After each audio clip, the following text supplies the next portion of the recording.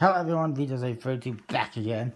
Uh, finally, an unboxing video. This is the first time that I can recall that I haven't done an unboxing video until Friday. so I almost went an entire week without getting anything.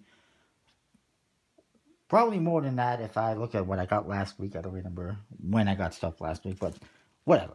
First of all, I got this from Collectable Playing Cards for my sponsorship. Uh, sorts.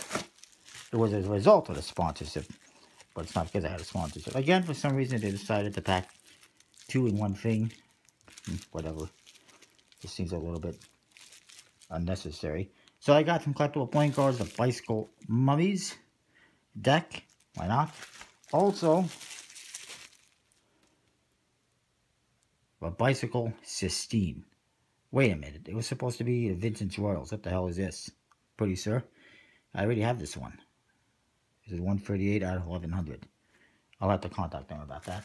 And the Bicycle 40 Years of Fear Jaws deck. It's funny that this is a official Jaws deck, but it doesn't say Jaws anywhere. Uh, you'd think that would be pretty important, but whatever. And that's from Crooked Kings Cards.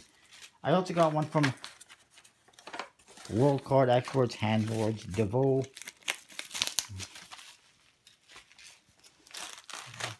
it up.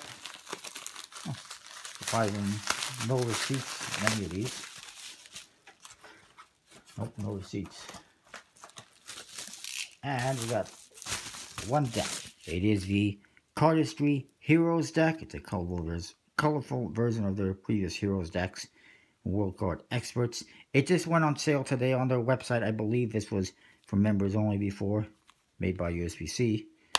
One way back, obviously, could have been a little more colorful if they added, you know, green and yellow to the corners, but they didn't. Whatever. That is what I got today. I'll see you next week with more.